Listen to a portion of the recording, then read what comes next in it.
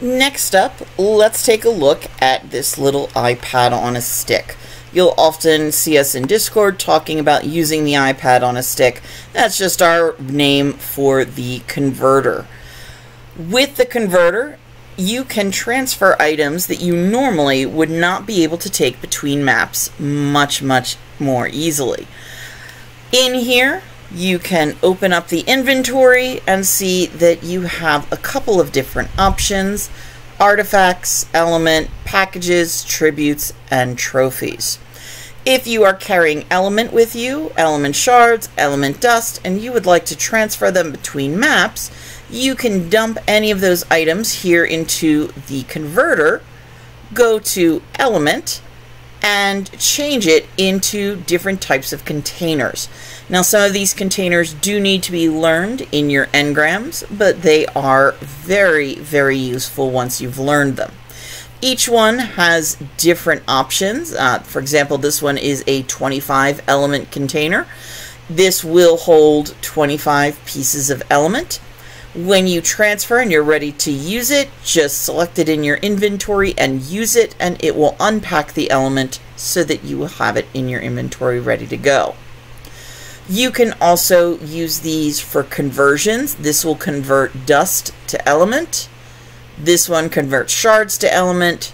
There is a larger element container that holds a 100 element at a time. A shard container a single element container and a shards to element container. So if you need to transfer element between servers, this is what you want to come to. Artifacts can also be packaged up this way. You can package up multiple artifacts to transfer across servers. And if you are on the hunt for artifacts or boss tributes, we've made it very easy for you to find them.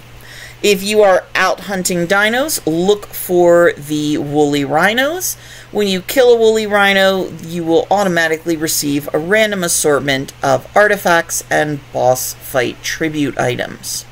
You can also find some of the rarer tribute items in our green drops. Tributes will package up all of the boss fight tributes so you can collect items on one map, take them to another map, and use them there. You can also package up most of the boss fight trophies, the heads and other items, to take with you from map to map. And if you are planning a boss fight and want to have everything ready to go, packages are the way to go. With this, you can select Alpha, Beta, Gamma, or any of the Extinction Titans. And for the different maps and the different fights, it'll tell you exactly what you need.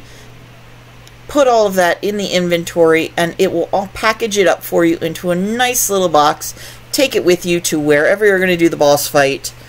Use it, and it will open up and put those items back in your inventory so you are instantly ready to go for any boss fight.